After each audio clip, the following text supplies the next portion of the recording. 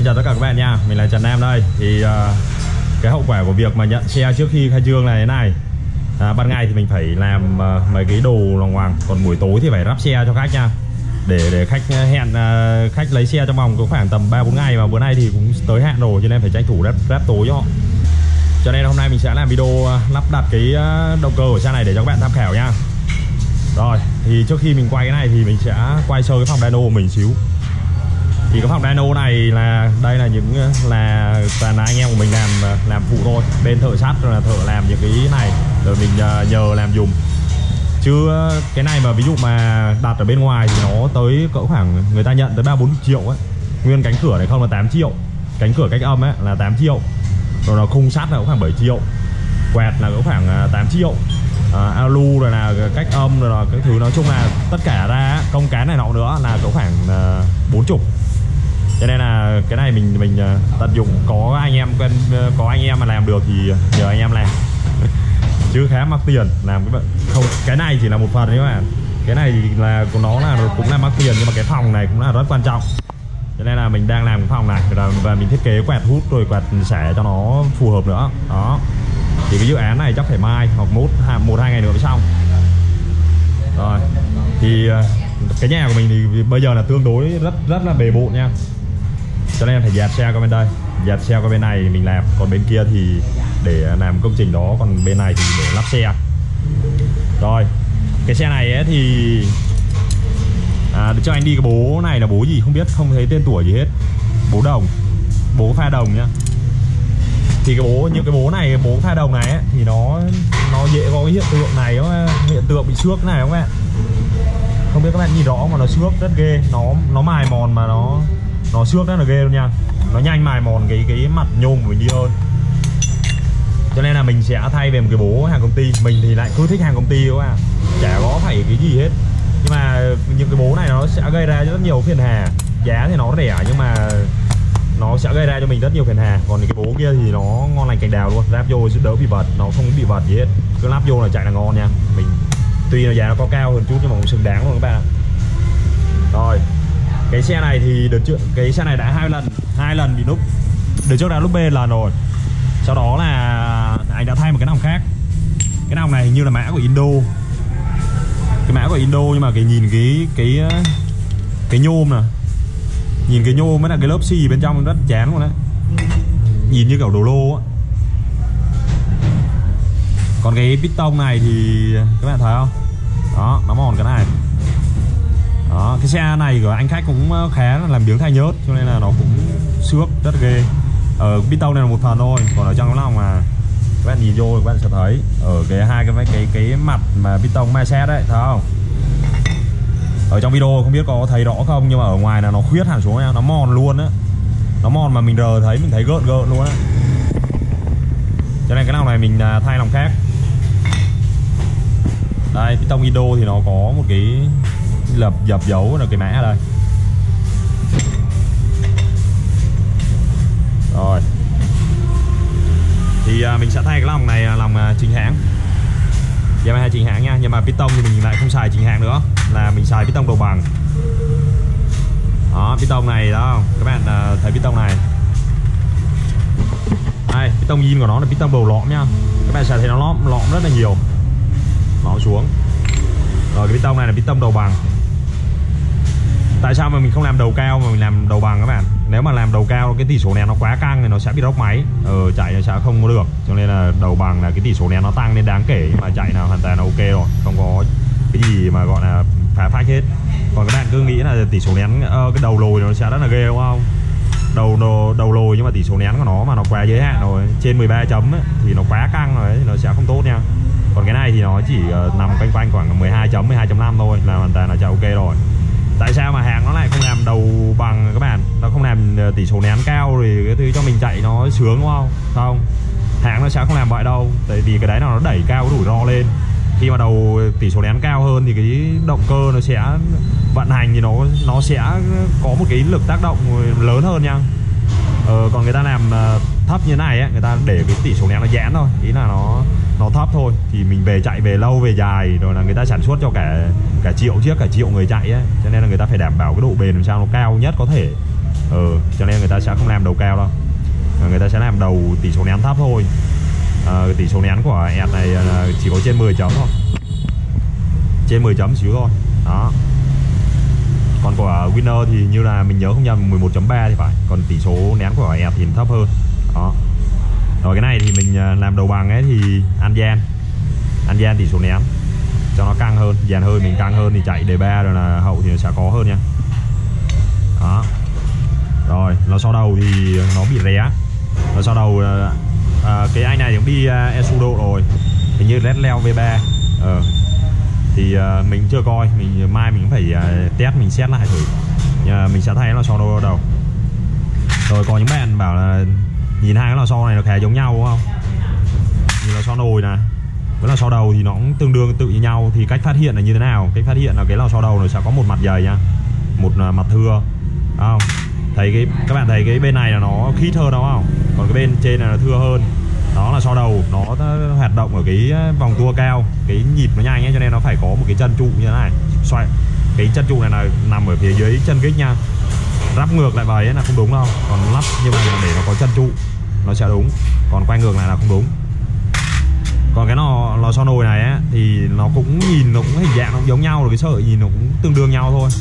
Nếu mà các bạn không rành thì các bạn rất dễ bị nhầm lẫn nhá à, ờ, cho nên là cứ soi vào. Đó cái này thì nó từ ở mặt dưới hay mặt trên nó không có phân biệt mặt nào tại vì cái mặt nào nó cũng, cũng độ dày độ thưa giống nhau cho nên là đó là cái lò xo nồi nha.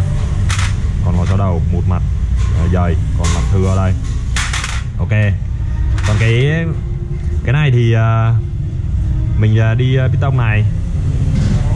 Thì cái cốt cam mình đi cốt cam zin ờ, nói chung là mình không lên cốt cam độ đâu các bạn ạ. Cốt cam độ thì uh, đề ba nó sẽ nhanh hơn nhưng mà cái về cái nước hậu thì nó cũng sẽ có một cái điểm yếu là nó nó hút xẻ nhanh quá thì cái hậu của nó cũng sẽ bị ảnh hưởng bị ảnh hưởng. Tuy đề ba nó nhanh hơn. Còn cái này thì uh, mình chỉ mình không lên trái hay là gì hết.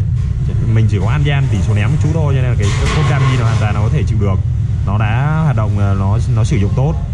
Ờ, mình móc lỗ hút xẻ ra một chút. Móc cái lỗ hút xẻ ra cho nó lớn lên một chút. Rồi xài là cam zin. Rồi bao bay luôn. Thì nó sẽ lanh từ ga đầu đến ga cuối luôn nha.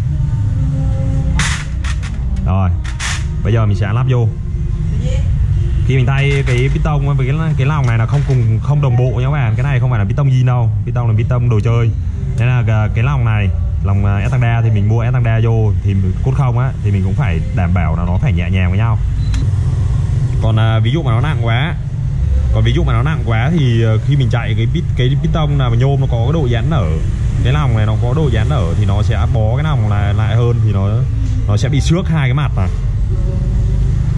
hai cái mặt này nó giãn nở nó nó nó ma sát với cái thành lòng mà thì nó sẽ mòn cái này rồi nó mòn cái thành lòng đúng không? Đó thế nên là nó chỉ cần ờ, hơi nặng một chút thôi cũng được, thì các bạn phải đô đa nhiều hơn. Nhưng mà nếu ví dụ mà các bạn cho nó nhẹ được ờ, thẻ thẻ thả bít tông xuống, mình chỉ cần đè cái tay nhẹ là trôi xuống, cái đấy là ok.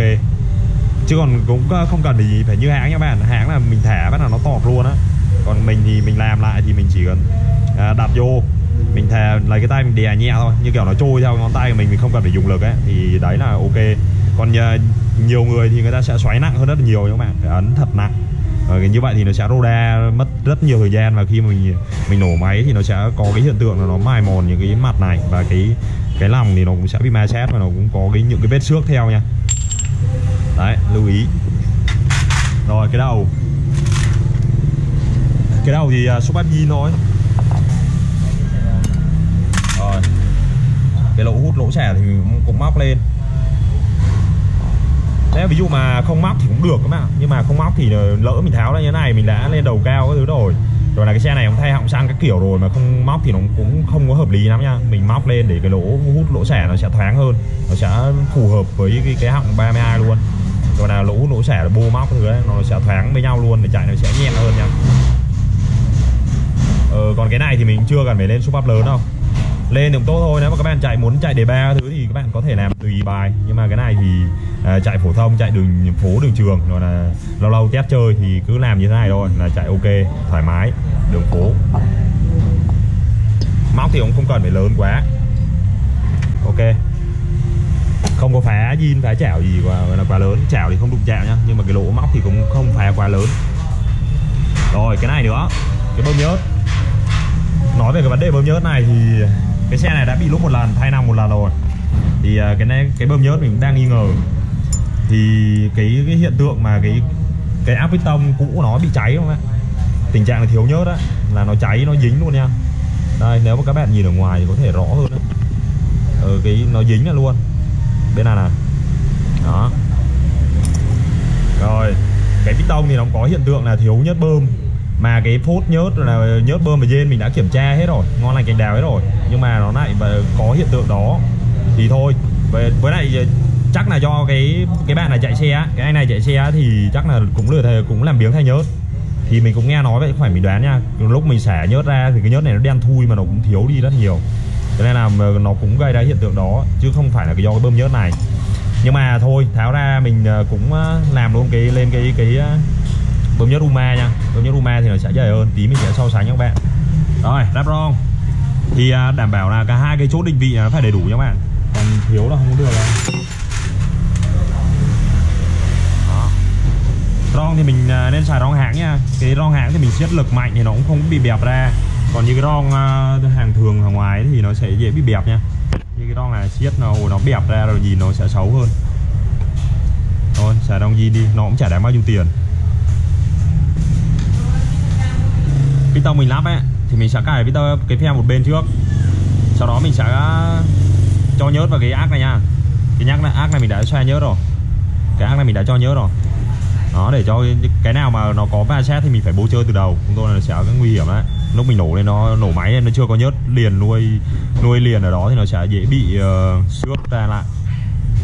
Rồi cái bạc uh, à, nhớt thì mình sẽ quay lên trên nha. Hai cái rãnh á cái hai cái khe hở của nó thì mình sẽ quay hai góc lên trên à, mình cứ tưởng tượng bốn cái đũa đầu thì một ờ, hai cái bạc nhớt sẽ quay qua hai mặt bên này. Còn hai cái bạc ờ, hơi bên trên thì một cái quay qua cái đũa bên dưới quay qua cái đũa bên dưới. Để cho không có cái nào trùng lập với nhau để nó lọc nhớt rồi lọc hơi tốt hơn. Đó hai cái bên trên hai cái bên dưới. Đó chéo nhau là được. Rồi cho nhớt vô. Rồi đẩy qua xong nha cà phê. Phe kéo cho nó giãn ra để khi mình cho vô, mình nó sẽ bung ra rồi nó sẽ giữ vào trong thành vách cho nó cứng hơn. Và cái tông này là nhớ là phải cho đúng chiều nha cái bề hở ít là bên dưới. Ở bên trên còn cái bề hở nhiều là bên dưới. Cái đấy là những cái cơ bản nhất đó, vô mà nó nghe cái tách phát như vậy là thành công. Kiểm tra lại. Đó. Cái lớp dưỡng khoảng lòng zin đấy thì nó màu xém các bạn chứ không phải là màu trắng như mình tưởng tượng là nó sẽ màu trắng đúng không? còn cái này thì nó màu trắng à? À, màu trắng không còn cái này nó màu xám à? À, thấy màu xám không? Đó.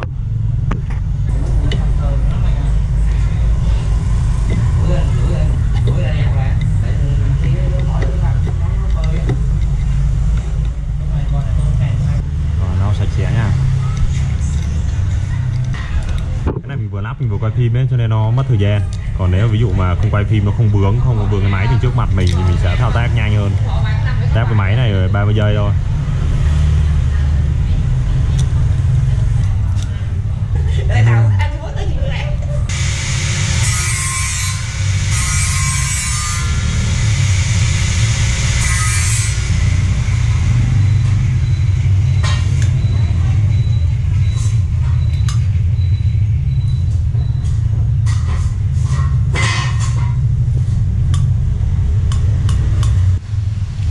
Cái này là bơm nhớt Uma nha.